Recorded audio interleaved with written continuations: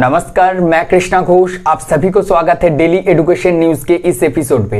Waste Bengal government की तरफ़ से रिसेंट जो अपडेट आ रहा है स्कूल कॉलेज और अदर्स एजुकेशनल इंस्टीट्यूट को रीओपन करने की तो अभी फ़िलहाल देखिए 30 ऑफ़ नवंबर 2020 तक वेस्ट बंगाल के अंदर हर एक एजुकेशनल इंस्टीट्यूट अभी क्लोज रहेगा।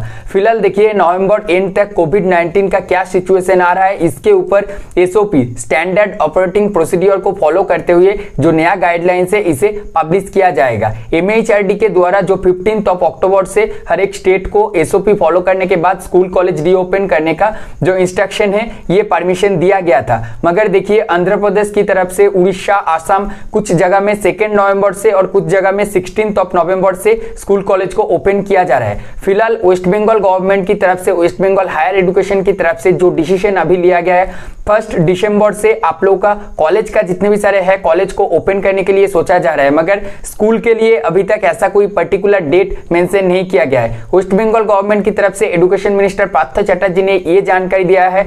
आफ्टर काली पूजा वैकेशन ममता बनर्जी से के बातचीत होने के बाद हायर एजुकेशन की तरफ़ से नया जो एडवाइजरी या फिर डिटेल्स में और भी ज़्यादा अपडेट दिया जाएगा। मैं आप सभी को ये इंफॉर्मेशन शेयर करना चाहता हूँ। जितने भी सारे A I C T that's mean all India council for technical education के अंदर में जितने भी सारे टेक्निकल इंस्टीट्यूट है ए आई सी टी का लास्ट नोटिस के मुताबिक यूजी एंड यूजी का जितने भी सारे फ़र्स्ट ईयर का इंजीनियरिंग का क्लासेस है, इसे फ़र्स्ट दिसंबर से शुरू करने के लिए फिफ्टीन अक्टूबर का जो नोटिस था, वहाँ पे इंस्ट्रक्शन दिया गया है। बंगाल गवर्नमेंट की तरफ़ से भी ये जानकारी दिया जा रहा है अभी फ़िलहाल कि फ़र्स्ट दिसंबर से जो कॉलेजेस है कॉलेज को रीओपन किया जा सकता है या फिर आप लोग का जो पढ़ाई है, नया इवन सेमिस्टर बता सकते हैं, नया जो सेमिस्टर है या आप लोग का जो भी कॉलेज का पढ़ाई है, इसे शुरू किया जाएगा। पर्टिकुलर डेट और भी ज़्यादा अपडेट पाने के लिए आप लोग चैनल को सब्सक्राइब करके मेरे साथ जुड़े हुए रह सकते हैं। और इस वीडियो को अगर आप लोगों को अच्छा लगता है लाइक चैनल पे अगर फ़र्स्ट टाइम आए हैं तो चैनल को सब्सक्राइब करके मेरे साथ जुड़े रहिए और भी ज़्यादा बेहतर जानकारी फ्यूचर में पाने के लिए।